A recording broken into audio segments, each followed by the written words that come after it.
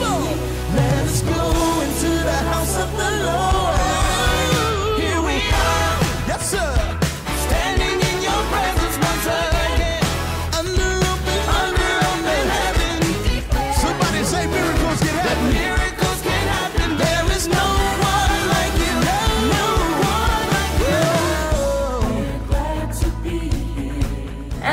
everyone, and welcome to church. I'm glad to be in the presence of God, and I believe you're also glad to be in the presence of God. But let's pray before we start the service. In Jesus' name, our Father and our God, we thank you for today's service. We ask you take permanent control of today's service in the mighty name of Jesus. As we fellowship with you, be with us in the mighty name of Jesus. And at the end of the day, all glory will be ascribed unto you alone in the mighty name of Jesus. We declare the service open in the name of the Father and of the Son and of the Holy Spirit. Amen. Amen and amen. So let's put on our dancing shoes and go and dance for the Lord.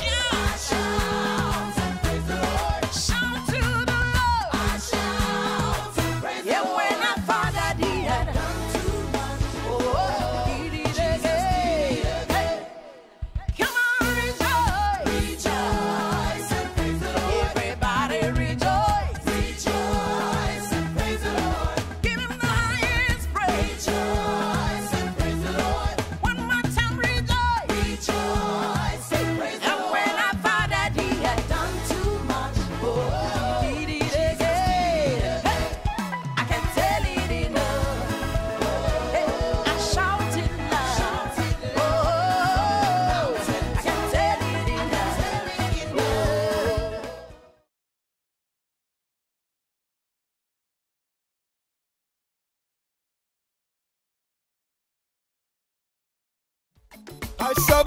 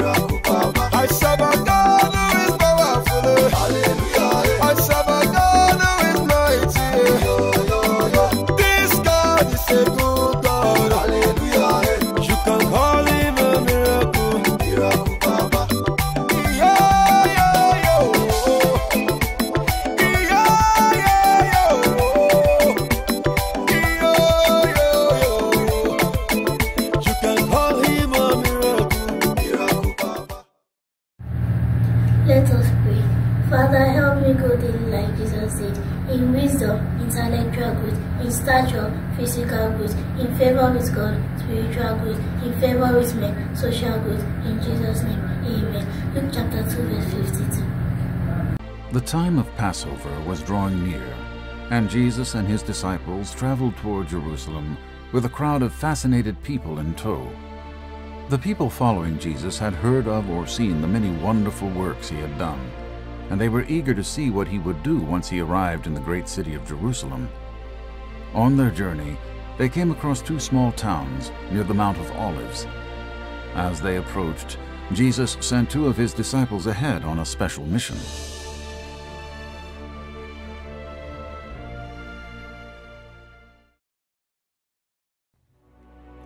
Jesus told the two disciples, When you enter the next village, you will find a donkey's young colt there that has never been ridden. Untie it and bring it to me. If anyone stops you and asks what you are doing, tell them, It is needed for the Lord of all. The two disciples followed Jesus' instructions and made their way to the village. As the two men walked to the village, they discussed all that Jesus had told them, and before long they arrived at the village. Immediately after entering the village, they came across a donkey and her colt, just as Jesus said they would. Continuing to follow Jesus' instructions, they began to untie the colt so that they could bring it back to Jesus.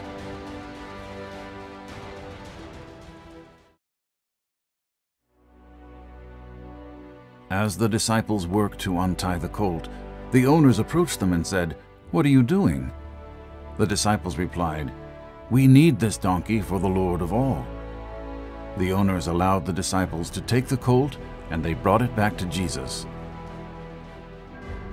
After returning, the disciples put their cloaks on the donkey's back and placed Jesus onto the animal. As Jesus rode the donkey, people ran out to meet him, placing palm leaves and spreading their cloaks out in front of him on the road.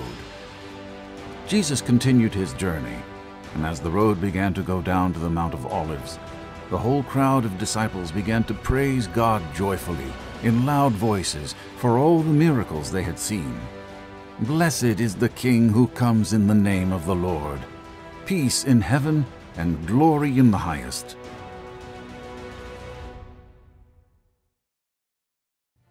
Some of the religious leaders had come out to watch the procession, and they grew angry over the outpouring of joy and praise at Jesus' arrival.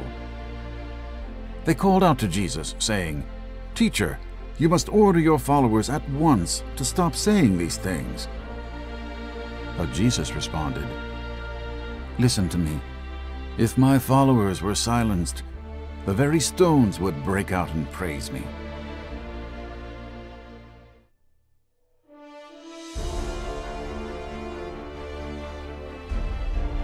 As Jesus came near to Jerusalem, he saw the great city and began to weep. Jesus said to the inhabitants, If only you had known that today was the day your Messiah had come, and that he came to bring peace. But you will not understand who I am, and why I have come. Because of this your enemies will overtake you and destroy this great city. The people of Jerusalem would only understand after his death that Jesus had come to save them from their sins.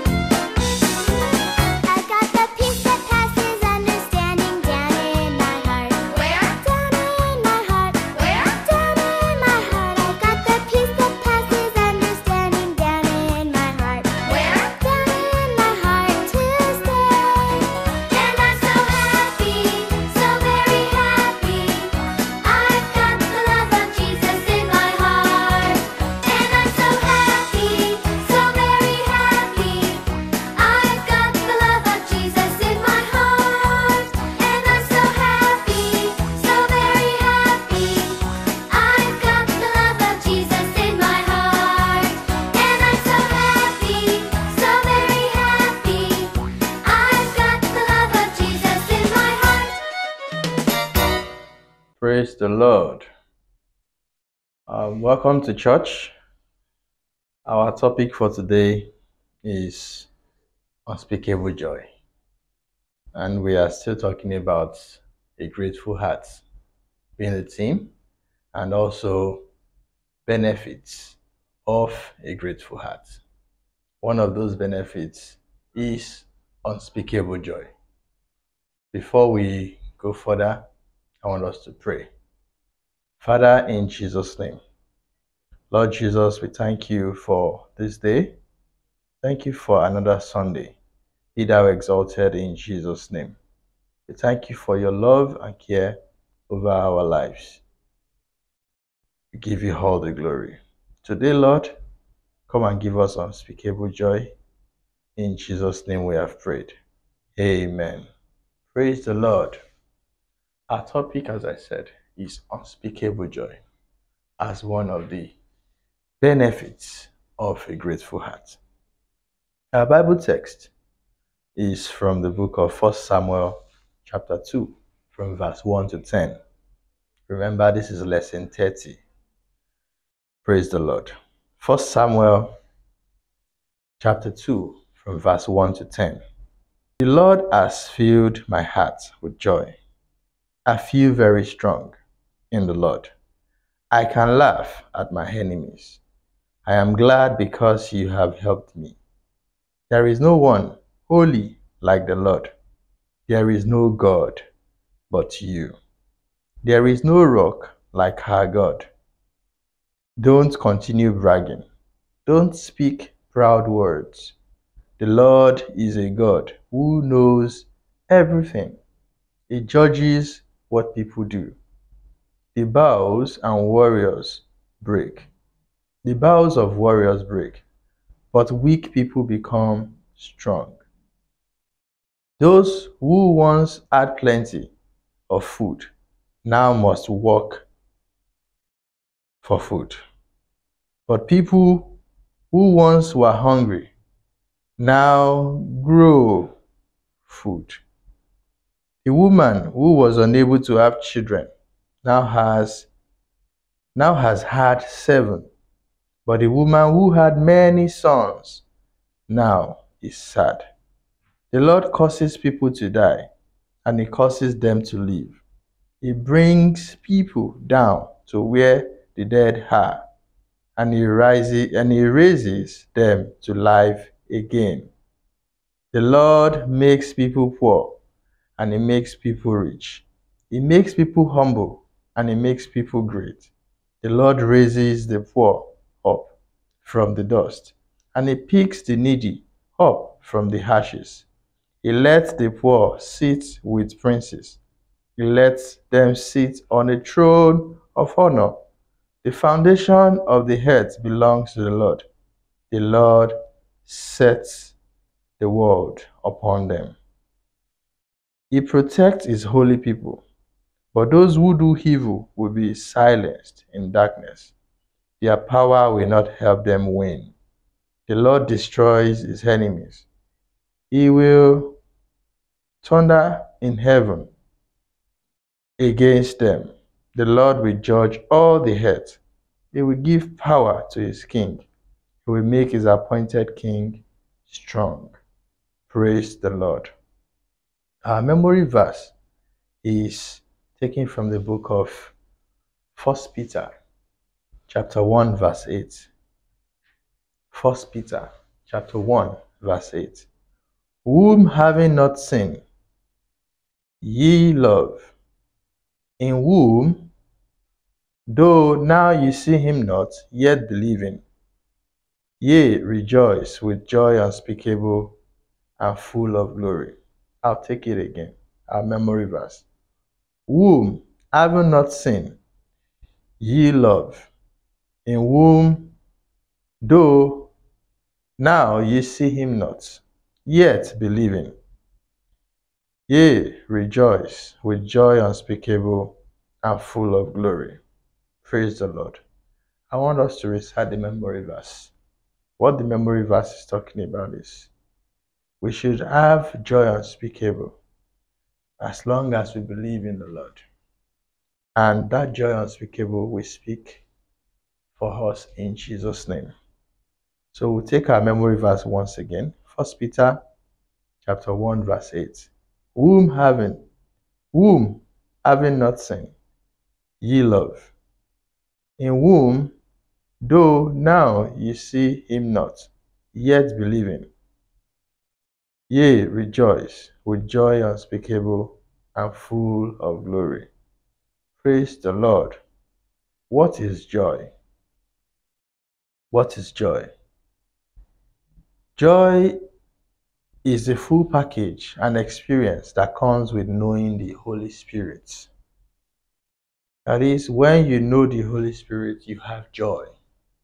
And then, what is unspeakable joy? This is the type of joy that is inexpressible, that is beyond description, that is incapable of expressing in word. And this indicates great joy. Joy is a word that brings laughter, great pleasure, delight, and euphoria. It is not based on happenings around us. Joy is not a function of our present experience or situations. It is a fruit of the Holy Spirit. In Nehemiah chapter 8, verse 10, in the later part, it says, Neither be ye sorry, for the joy of the Lord is your strength. God's desire for us is to experience unspeakable joy continuously. Our case study for today is that of some shepherds that heard about Jesus in the book of Luke, chapter 2, from verse 8 to 20. One night, I'm reading from the book of Luke, chapter 2, from verse 8 to 20. One night, just like many others, over 2,000 years ago, in the city of David, called Bethlehem, some shepherds were watching their sheep. All of a sudden, an angel appeared with bright light, shining all around, and they were afraid. The angel told them not to be afraid because he brought them good news for all the people. That night, the Savior had already been born in Bethlehem. The proof of this, so they would be able to tell others, was that they would see the Savior of the world wrapped in stripes of clothes in a manger. Suddenly, a very large group of angels from heaven joined the first angel.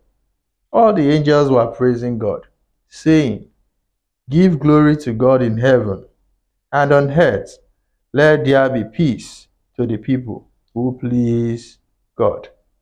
The angels then went back to heaven, and the shepherds decided to go to Bethlehem to see what God had told them. The shepherds found Mary and Joseph and the baby lying in a manger, just like the angel had told them. They left and told everyone of the good news. Then the shepherd went back to their sheep, praising God and thanking Him for everything that they had seen and heard. It was just as the angel had told them. The shepherds knew that what they had seen would change the whole world because God sent His Son to be our Savior and friend. They could not keep such joyful news to themselves. They had to tell others. Praise the Lord. Now, this experience that these shepherds had brought unspeakable joy to them. So, in essence, there's a certain level of joy you have that you cannot keep it to yourself. You just have to cheerfully, rejoicingly tell others. So, this is the unspeakable joy we are talking about. Unspeakable joy can be expressed in, through songs and hymns. Let's take a look at some cases where unspeakable joy was expressed. after the children of Israel, they were leaving their captives after many years. Moses, after crossing the Red Sea, they sang song to God. Why? Because the joy of crossing the Red Sea came upon them and he sang a song. Hannah, after giving birth to Samuel, remember the story of Hannah who prayed and prayed looking for a child. And then she gave birth to Samuel. The joy that came after giving birth to Samuel, Hannah sang song. Mary, when she visited Elizabeth in the book of Luke, chapter 1, 46 to 56, Mary also sang a song. Unspeakable joy can be expressed through laughter and dance. If you remember the story of Sarah, and after Sarah gave birth to Isaac, she laughed. Praise the Lord. David, after he brought the ark of God to Jerusalem, he also danced. Praise the Lord. Unspeakable joy can be expressed through sharing gifts or by witnessing about Jesus Christ to others. The few of Purim, after the Jews defeated their enemies, they shared things. Why? Because they had a feast to share things. Why? Because they had joy after the defeat. Praise the Lord. And Andrew went about witnessing about Jesus, and he did so to his brother as well, Simon Peter, in the book of John, chapter 1, uh, from verse 37 to 42. Praise the Lord. Effects of unspeakable joy. What does unspeakable joy do to you? One, it gives you great peace. It gives you great peace. Number two, it makes you confident that God is on your side. Praise the Lord. Number three, it makes you confident that when you pray, God will answer you. Number four, on the effect of unspeakable joy, makes you sure of your salvation. And number five, it makes you confident that there is no enmity between you and God. There are different dimensions of joy unspeakable. Different dimensions. Number one, joy unspeakable is a product of love. Two, it's a fruit of the Holy Spirit, as we did have it said in Galatians chapter 5, verse 22. But a fruit of the Spirit is love, joy, peace, patience, kindness, goodness, and faithfulness. Number three, it is a product of an experience with the glory of God. Jude chapter 1, verse 24 says, Now to him who is able to keep you from stumbling and to present you faultless before the presence of his glory with exceeding joy. We are still talking about dimensions of unspeakable joy. Number four, is a full experience of God's presence. In Psalms chapter 16, verse 11, it says, You will show me the path of life. In your presence is fullness of joy. At your right hand are pleasures forever. Number five, joy is found in God. Number six, it is the essence of God, as written in the book of Acts, chapter 13, verse 52. And the disciples were filled with joy and with the Holy Ghost. Praise the Lord. Still talking about dimensions of unspeakable joy. Number seven, which I'll make the last. Joy is the full experience of the kingdom of God. For the kingdom of God is not eating and drinking, but righteousness, peace, and joy in the Holy Spirit, as written in the book of Romans, chapter 14, verse 17. In conclusion, unspeakable joy is the joy of salvation, a life of holiness is the key to continue to experience this unspeakable joy. For whosoever shall call upon the name of the Lord shall be saved. This is as written in Romans chapter 10, verse 13. You can have this joy if you accept Jesus Christ as your Lord and Savior. So if you would like to give your life to Christ, I want you to bow your head so that you can begin to experience unspeakable joy and say in your heart, Lord Jesus, come into my life. Let me experience unspeakable joy. Come and touch me. Take me as your son, as your daughter. In Jesus' name we are prayed. Praise the Lord. I hope you have learned some things about the unspeakable joy. So, in order to show that yes, you understand what we've talked about, I have a few questions for us. So, I'll be right back. I want you to attempt the questions before we close the service. Praise the Lord.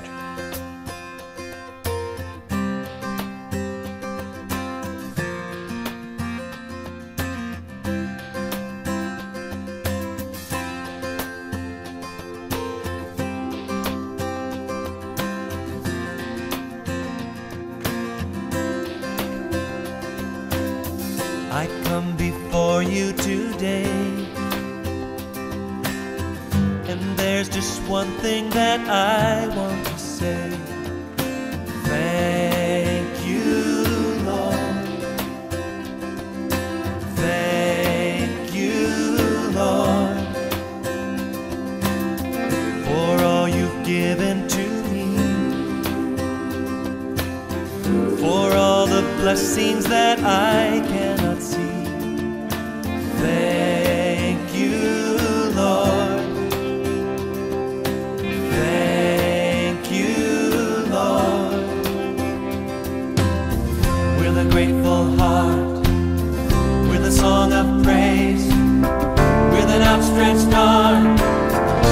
bless your name.